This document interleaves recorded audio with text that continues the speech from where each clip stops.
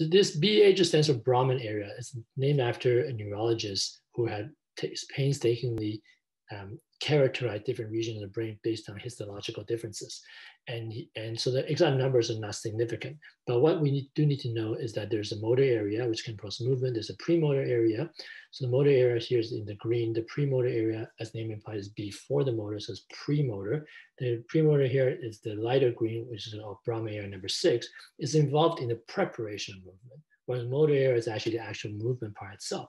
But within this premotor area, the medial portion you can see has that more teal or forest green color. That part has a different name. It's called a supplemental motor area. And what the supplemental motor area does is that it initiates complex sequence of movement. So if you're dealing with, let's say, a, a kid with aphasia, not aphasia, a kid with autism who is nonverbal, how do you get them to initiate that movement?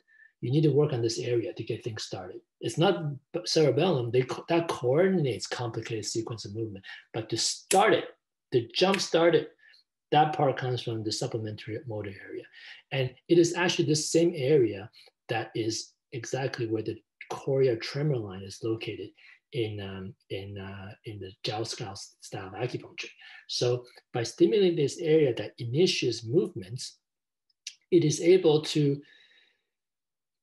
to um, um, in, initiate proper contraction as opposed to spastic contraction, uh, or think of spasticity as involuntary contraction that is there all the time. If it can initiate, it can also turn off. This is why I mentioned this area is beneficial for Parkinson patients as well, because it can turn off that involuntary movement. So this is examples of the MRI research I've, I've done. What we've done is we mapped out the points on the scalp by doing MRI studies to see which part of the cort surface of the cortex of the brain correspond to. So you can see that, you know, uh, even though the, the, you might not be familiar with the numbers, uh, but four was, if you remember from last, that was the motor area, six was the premotor area. So, and so the medial portion of that premotor area was a supplementary motor area. So if you needle gallbladder, uh, sorry, bladder six towards bladder seven, you're going to cover that supplementary motor area. So um, it just gives you a lot more precision.